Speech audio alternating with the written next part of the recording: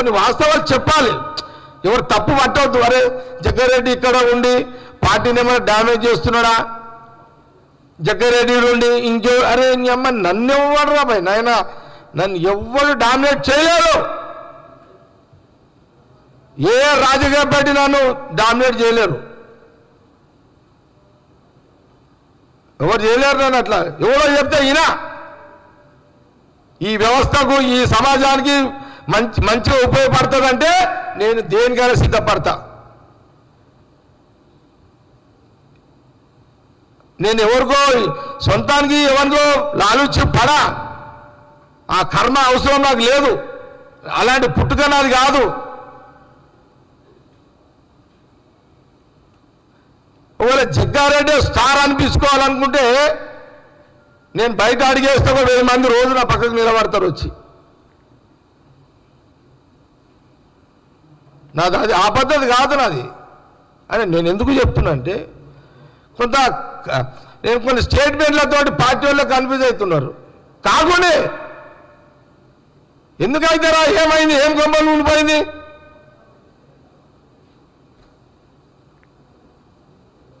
మీకు ఎందుకు చెప్పినా?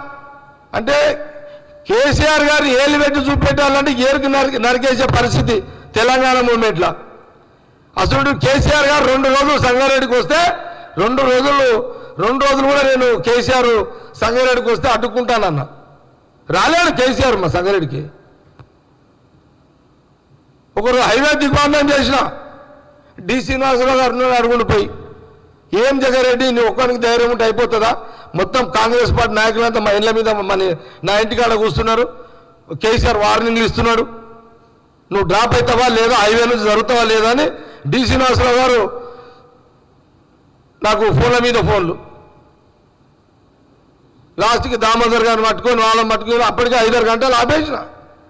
మీకు అందరు తెలుసు కదా నేషనల్ హైవే దిగ్బంధం చేసిన కేసీఆర్ రావద్దని.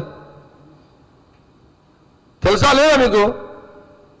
నేను ఎవరికి ఆ నేను ఎవరికి భయపడతా? ఆ టైంలో ఎవరు అయ్యక్యం లేదు నేను.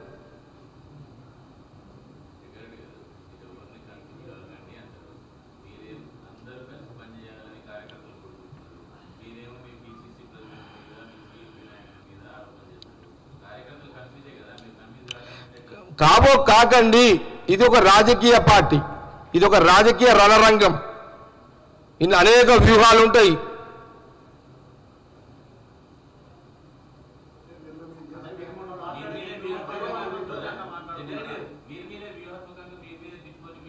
ఎందుకు అనుకో అనుకోండి వ్యూహమే అనుకోండి ఇది.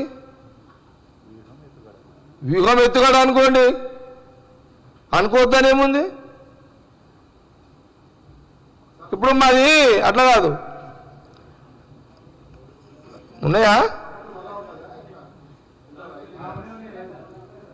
ఉంటే మీకు న్యూస్.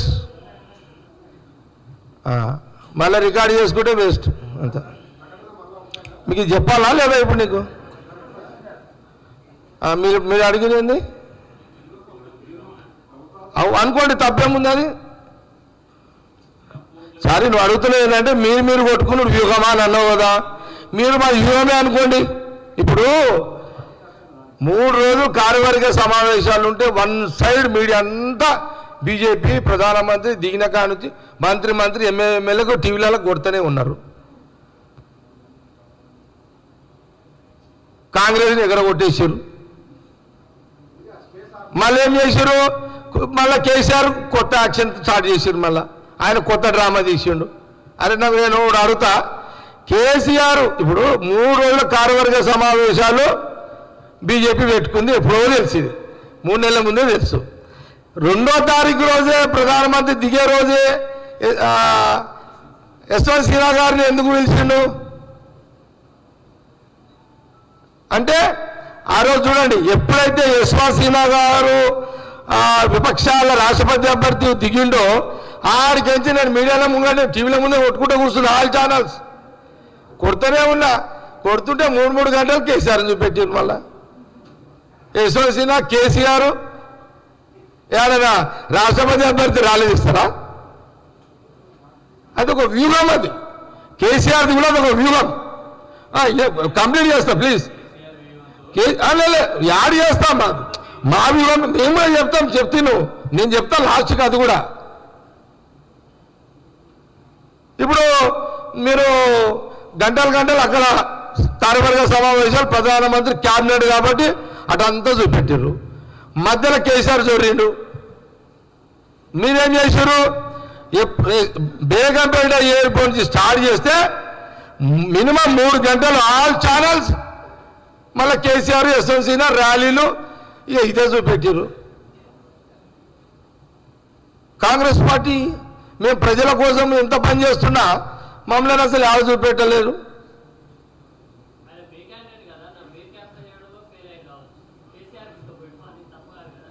నేను కేసీఆర్ తప్పంటలే. బ్రదర్ నువ్వు తప్పు అనుకోకు నన్ను. నేను కేసీఆర్ వ్యూహం కరెక్ట్. రాజకీయాలలో ఎత్తులు ఎత్తుగడలు ఉంటాయి రాజకీయాలలో. రాజకీయం అంటే ఒక రాజకీయ పార్టీ ఎత్తు వేస్తే ఇంకో ఎత్తుగడ వేస్తాడు ఇంకోటి పై ఎత్తుగడ వేస్తాడు అయితే ఎత్తుగడ బీజేపీ. పై ఎత్తుగడ టిఆర్ఎస్. ఏది? మూడు గంటలు సీనియర్ ర్యాలీ. పై అది ఇంకోటి ఏంది పైన? ఆ? ఆ, ఇంకొక మీరు చూడండి. రేవంత్ రెడ్డి స్టార్ట్ చేసి జగ్గారెడ్డి స్టార్ట్ చేసిన కాడి నుంచి నేను ఛానల్ ఒత్తుకుంటా కూర్చున్నా. మాదే చూపెడుతున్నారు మీరు కాంగ్రెస్దే. అది ఓకే చేయండి. అది వేరే సంగతి ఇది ఇది. అయితే ఇదొక ఎత్తుగానే కదా? అది చెప్తా నీకు జవాబు చెప్తా. ఇది కూడా మీరు చూడండి ఐదున్నర నుంచి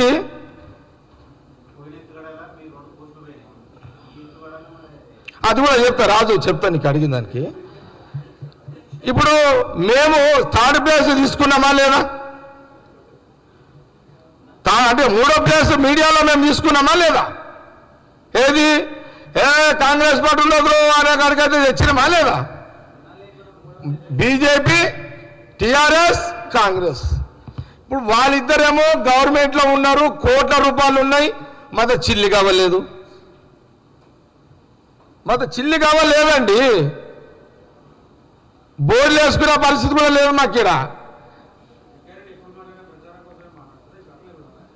జగ్గారెడ్డి జగ్గారెడ్డి అశోక్ జగ్గారెడ్డి జగ్గారెడ్డి మున్సిపల్ చైర్మన్ ఉన్న కాడ నుంచే చాలా మందికి తెలుసు. ఈ హైదరాబాద్ నేను మున్సిపల్ చైర్మన్ ఉన్నప్పటి నుంచే ఈ హైదరాబాద్లో ప్రతి ఒక్కరికి తెలుసు. అంటే ప్రతి ఒక్కరికంటే ఒక సెక్షన్ వాళ్ళకి తెలుసు.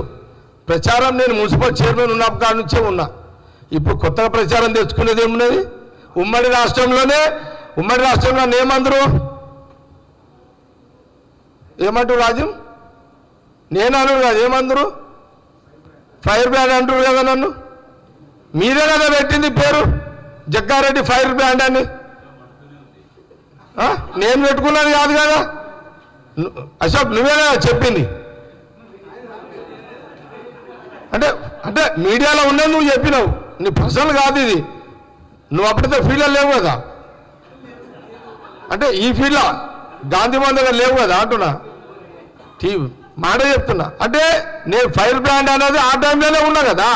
ఇప్పుడు నాకేం ప్రచారం అవసరం ఇక్కడ ఏం చేసుకోవాలి ప్రచారం చేసుకుని అట్లా కాదు.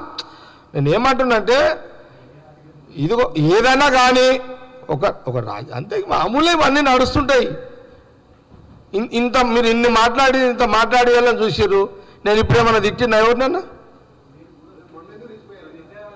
ఇప్పుడు ఏమన్నా తిట్టినా ఎవరినన్నా?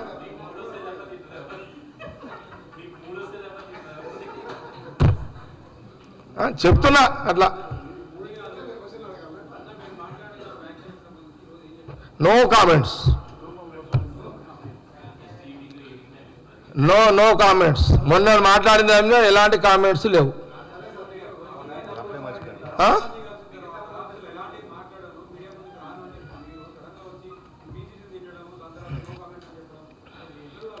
అంటే నో కామెంట్స్ అంటే ప్రస్తుతానికి మాట్లాడా అని అర్థం. అంతే కన్ఫ్యూజన్ కాకుండా. అది కూడా అంటలేను. ప్రస్తుతానికి మాట్లాడా నో కామెంట్స్ అంటే అర్థం అదే. ఉంటుంది. తప్పకుండా త్వరలో సంచలన ప్రకటన ఉంటుంది. ఉంటుంది. ఏముంటుంది అనేది టైం వచ్చినప్పుడు నేను చెప్తాను మేము అంతే కదా? కాంగ్రెస్ ప్రజల పక్షాన ఉంటుంది. ప్రజల కోసము సోనియా గాంధీ రాహుల్ గాంధీ నాయకత్వంలో అపోజిషన్లో కొట్లాడతాము రూలింగ్లోన పబ్లిక్లోనే ఉంటుంది that is Congress party Sonia Gandhi Rahul Gandhi. ఏమి కామెంట్లు చేయాలి? లెటర్ల విషయంలో కానీ మొన్నటి విషయంలో కానీ ఎలాంటి కామెంట్స్ ఉన్నాయి ఈరోజు ఇసుక దందల మీద ఈ బీజేపీ దందల మీద